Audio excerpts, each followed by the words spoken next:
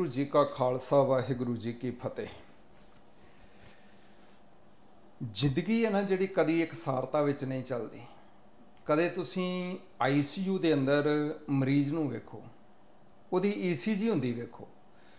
ਜੇ ਤੇ ਲਾਈਨ ਉੱਤੇ ਜਾ ਰਹੀ ਹੈ ਥੱਲੇ ਜਾ ਰਹੀ ਹੈ ਉੱਤੇ ਜਾ ਰਹੀ ਹੈ ਥੱਲੇ ਜਾ ਰਹੀ ਹੈ ਤੇ ਇਟ ਮੀਨਸ ਉਹਦੀ ਜ਼ਿੰਦਗੀ ਬਰਕਰਾਰ ਹੈ ਜੀਵਨ ਚੱਲ ਰਿਹਾ ਹੈ ਤੇ ਜੇ ਉਹ ਉੱਤੇ ਥੱਲੇ ਜਾਂਦੀ ਹੋਈ ਲਾਈਨ ਸਟੇਟ ਹੋ ਜਾਏ, ਰੁਕ ਜਾਏ, ਸਿੱਧੀ ਹੋ ਜਾਏ, ਤੇ ਫਿਰ ਡਾਕਟਰ ਕਹਿ ਦਿੰਦਾ ਹੈ ਸੌਰੀ ਨੋ ਮੋਰ ਪਤਾ ਕਿਉਂ?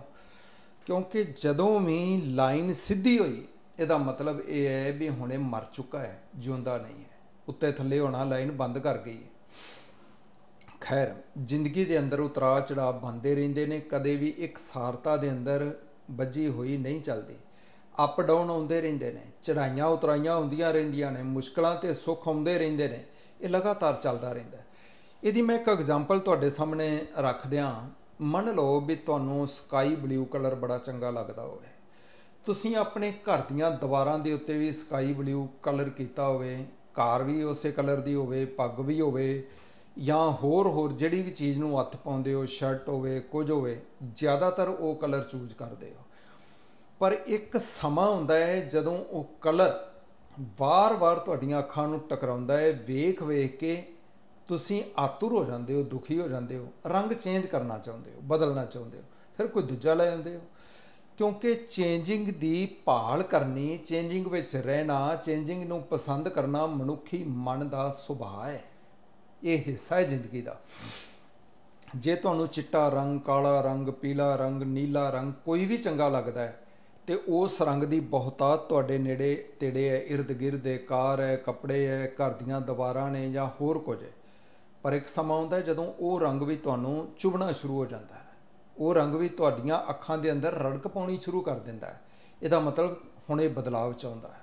ਇੱਕ ਸਾਰਤਾ ਦੇ ਅੰਦਰ ਕਦੇ ਵੀ ਜੇ ਤੁਸੀਂ ਚਾਹੋ ਨਾ ਸੁਖ, ਤੇ ਉਹਦਾ ਨਾਂ ਸੁਖ ਨਹੀਂ ਹੈ ਵੀ ਮੇਰੀ ਜ਼ਿੰਦਗੀ ਦੇ ਅੰਦਰ ਕੋਈ ਪ੍ਰੋਬਲਮ ਨਾ ਹੋਵੇ, ਮੈਂ ਸਵੇਰੇ ਉਠਾਂ ਤੇ ਇੱਕ ਸਾਰਤਾ ਦੇ ਅੰਦਰ ਜ਼ਿੰਦਗੀ ਬੱਜੀ ਚੱਲਦੀ ਰਹੇ। ਇਹਦਾ ਮੈਂ ਕਾਰਨ ਦੱਸ ਦੇਣਾ ਜੇ ਇੱਕ ਸਾਰਤਾ ਦੇ ਅੰਦਰ ਬੱਜੀ ਹੋਈ ਜ਼ਿੰਦਗੀ ਚੱਲੇਗੀ, ਜੋ ਤੁਹਾਡੇ ਕੋਲ ਹੈ ਉਹਦਾ ਰਸ ਘਟਣਾ ਸ਼ੁਰੂ ਹੋ ਜਾਏਗਾ, ਰਸ ਫਿੱਕਾ ਪੈ ਜਾਏਗਾ, ਤੁਸੀਂ ਰਸ ਲੈ ਨਹੀਂ ਸਕੋਗੇ। ਰਸ ਤਾਂ ਹੀ ਹੁੰਦਾ ਜਦੋਂ ਭੁੱਖ ਲੱਗੀ ਹੋਵੇ। ਭੁੱਖ ਨਾ ਲੱਗੀ ਹੋਵੇ, ਹਰ ਵਕਤ ਬੰਦਿਆ ਰੱਜਿਆ ਰਵੇ ਤੇ ਉਹਨੂੰ ਰਸ ਨਹੀਂ ਆਉਂਦਾ, ਭੋਜਨ ਦਾ ਭਾਵੇਂ ਭੋਜਨ ਕਿੰਨਾ ਸਵਾਦੀ ਹੋਵੇ ਤੇ ਕਿੰਨਾ ਮਹਿੰਗਾ ਹੋਵੇ। ਖੈਰ ਜ਼ਿੰਦਗੀ ਦੇ ਅੰਦਰ ਅਪ ਡਾਊਨ ਆਉਂਦੇ ਨੇ, ਇਹਨਾਂ ਵਿੱਚੋਂ ਨਿਕਲਣਾ, ਇਹਨਾਂ ਵਿੱਚੋਂ ਸੁਲਝਣਾ, ਇਹਨਾਂ ਵਿੱਚੋਂ ਅੱਗੇ ਚੱਲਣਾ, ਇਹ ਹਰ ਬੰਦੇ ਦੇ ਕੋਲ ਕਲਾ ਦਾ ਹੋਣਾ ਬੜਾ ਜ਼ਰੂਰੀ ਹੈ।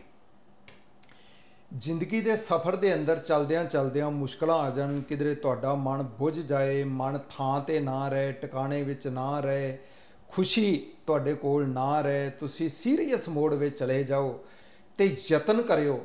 ਛੇਤੀ ਤੋਂ ਛੇਤੀ ਉਹ ਸੀਰੀਅਸ ਮੋਡ ਵਿੱਚੋਂ ਬਾਹਰ ਨਿਕਲਣ ਦਾ।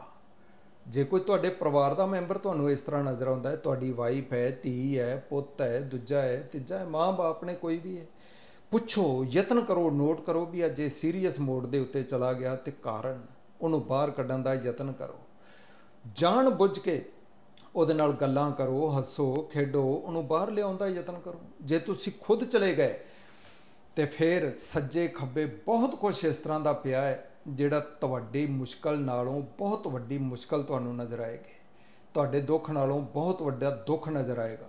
ਥੋੜਾ ਥੋੜਾ ਸੱਜੇ ਖੱਬੇ ਨਿਕਲੋ, ਵੇਖੋ ਤੇ ਆਪਣੇ ਆਪ ਨੂੰ ਬਾਹਰ ਕੱਢਣ ਦਾ ਯਤਨ ਕਰੋ ਵੀ ਮੇਰੀ ਤੇ ਮੁਸ਼ਕਲ ਹੀ ਕੁਝ ਨਹੀਂ, ਇਹਦੇ ਤੇ ਮੁਸ਼ਕਲ ਮੇਰੇ ਸਾਹਮਣੇ ਬੜੀ ਵੱਡੀ, ਮੇਰਾ ਤੇ ਦੁੱਖ ਹੀ ਕੁਝ ਨਹੀਂ, ਇਹਦਾ ਦੁੱਖ ਤੇ ਬੜਾ ਵੱਡਾ ਮੇਰੀ ਪ੍ਰੋਬਲਮ, ਏਡੀ ਵੱਡੀ ਪ੍ਰੋਬਲਮ ਨਹੀਂ ਹੈ, ਜਿੰਨੀ ਵੱਡੀ ਪ੍ਰੋਬਲਮ ਇਹਦੇ ਕੋਲ ਹੈ। ਇਹ ਤੇ ਪਹਾੜ ਨੂੰ ਮੱਥਾ ਲਾਈ ਬੈਠਾ ਹੈ। ਬਾਹਰ ਆ ਜਾਓਗੇ, ਪਰ ਜਦੋਂ ਸੱਜਾ ਖੱਬਾ ਵੇਖਣਾ ਸ਼ੁਰੂ ਕਰੋਗੇ, ਬਹੁਤਾ ਲੰਮਾ ਸਮਾਂ ਅਗਰ ਤੁਸੀਂ ਸੀਰੀਅਸ ਮੋਡ ਵਿੱਚ ਰਹੋਗੇ ਤੇ ਡਿਪਰੈਸ਼ਨ ਵਿੱਚ ਚਲੇ ਜਾਓਗੇ, ਡਿਪਰੈਸ਼ਨ ਹੀ ਅੱਗੇ ਜਾ ਕੇ ਪਾਗਲਪਣ ਦਾ ਰੂਪ ਧਾਰਨ ਕਰ ਲੈਂਦਾ ਹੈ।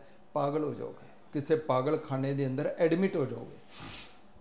ਨਾ ਡਿਪਰੈਸ਼ਨ ਵਿੱਚ ਰਹੋ, ਨਾ ਆਪ ਦੁਖੀ ਹੋਵੋ, ਨਾ ਦੂਜਿਆਂ ਨੂੰ ਦੁਖੀ ਕਰੋ, ਜਲਦੀ ਯਤਨ ਕਰੋ ਉਥੋਂ ਬਾਹਰ ਨਿਕਲਣ ਦਾ। ਚਲੋ, ਜੇ ਕਿਧਰੇ ਪਾਣੀ ਵਿੱਚ ਤੈਰਨਾ ਨਾ ਆਉਂਦਾ ਹੋਵੇ ਜਾਂ ਆਉਂਦਾ ਹੋਵੇ ਤੇ ਘੱਟ ਆਉਂਦਾ ਹੋਵੇ, ਚਲੋ ਜ਼ਿਆਦੇ ਤੋਂ ਜ਼ਿਆਦਾ ਵੀ ਆਉਂਦਾ ਹੋਵੇ, ਪਰ ਉਸ ਦਰਿਆ ਦੀ, ਉਸ ਸਮੁੰਦਰ ਦੀ ਲਹਿਰ ਇੰਨੀ ਉੱਚੀ ਹੋਵੇ ਵੀ ਤੁਸੀਂ ਉਹਦੀ ਗ੍ਰਿਫਤ ਵਿੱਚ ਆ ਜਾਓ, ਕਾਬੂ ਵਿੱਚ ਆ ਜਾਓ, ਤੇ ਉੱਥੇ ਸੀਰੀਅਸ ਹੋ ਕੇ ਬਹਿਣ ਦਾ ਯਤਨ ਕਰੋਗੇ ਜਾਂ ਬਾਹਰ ਨਿਕਲਣ ਦਾ ਯਤਨ ਕਰੋਗੇ। ਇਹੀ ਕੋਸ਼ਿਸ਼ ਕਰੋਗੇ ਨਾ ਵੀ ਜਿੰਨੀ ਜਲਦੀ ਹੋ ਸਕਦਾ ਹੈ, ਹੱਥ ਪੈਰ ਮਾਰੋ, ਜਲਦੀ ਜਲਦੀ ਨਿਕਲਣ ਦਾ ਯਤਨ ਕਰੋ, ਬਾਹ ਖੜੀ ਕਰੋਗੇ ਵੀ ਕੰਡੇ ਤੇ ਖਲੋਤਾ ਕੋਈ ਮੈਨੂੰ ਵੇਖੇ ਤੇ ਮੈਨੂੰ ਕੱਢਣ ਦਾ ਯਤਨ ਕਰੋ। ਤੁਹਾਡਾ ਯਤਨ ਰਹੇਗਾ ਨਾ ਬਾਹਰ ਨਿਕਲਣ ਦਾ? ਤੇ ਫਿਰ ਮੁਸ਼ਕਲਾਂ ਵਿੱਚੋਂ ਬਾਹਰ ਨਿਕਲਣ ਦਾ ਯਤਨ ਘੱਟ ਕਿਉਂ? ਦੂਜੀ ਗੱਲ, ਪਰਮਾਤਮਾ ਕਰੇ ਘਰਾਂ ਦੇ ਅੰਦਰ, ਪਰਿਵਾਰਾਂ ਦੇ ਅੰਦਰ, ਸਭ ਦੇ ਅੰਦਰ ਸੁਖ ਸ਼ਾਂਤੀ ਬਣੀ ਰਹੇ।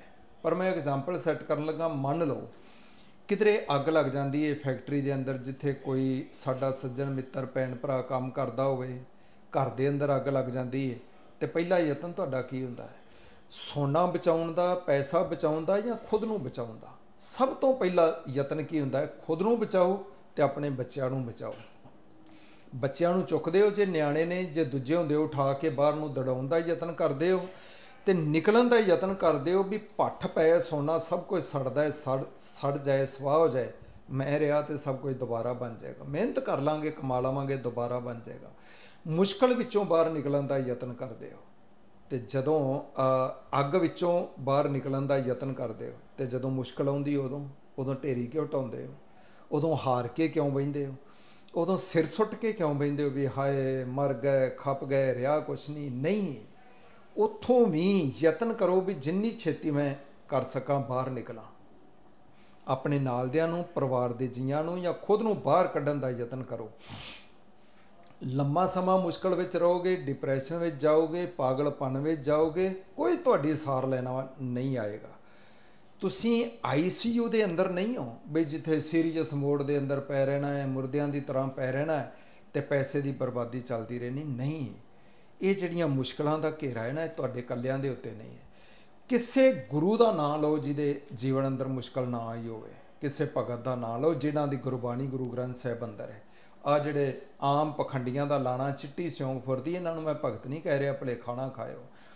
ਕੋਈ ਲੀਡਰ ਹੋਵੇ ਪੜਿਆ ਹੋਵੇ ਅਣਪੜਿਆ ਹੋਵੇ, ਅਮੀਰ ਹੋਵੇ, ਗਰੀਬ ਹੋਵੇ, ਛੋਟਾ ਹੋਵੇ, ਵੱਡਾ ਹੋਵੇ, ਇੱਕ ਵੀ ਬੰਦਾ ਕੱਢੋ ਜਿਹਦੇ ਜੀਵਨ ਵਿੱਚ ਮੁਸ਼ਕਲ ਨਾ ਹੋਵੇ।